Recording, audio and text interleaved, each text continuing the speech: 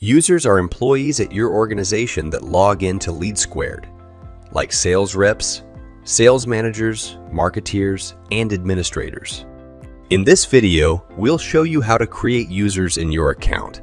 Navigate to your profile icon and click Manage Users.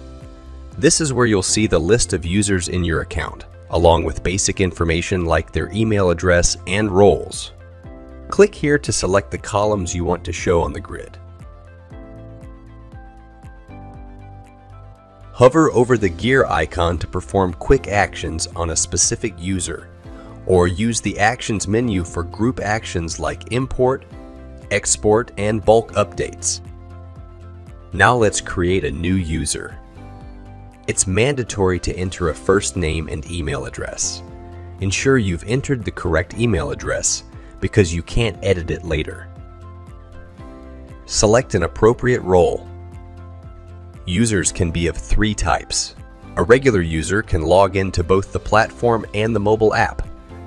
A mobile user can log in to only the mobile app, while a Marvin user can only log into Marvin, LeadSquared's new inside sales user app. In the Reporting To field, select the user's reporting manager. LeadSquared automatically generates your organization hierarchy based on this user field.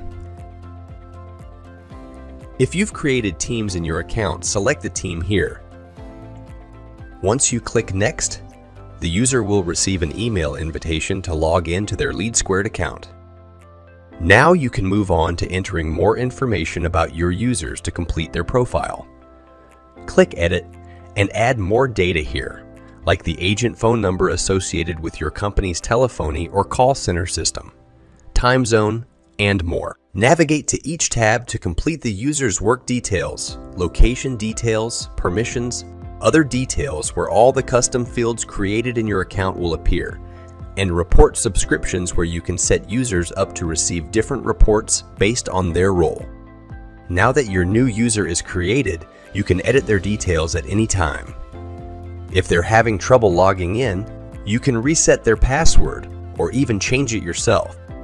At the bottom of the page here, you'll see the limit on the number of active users you can create based on your plan.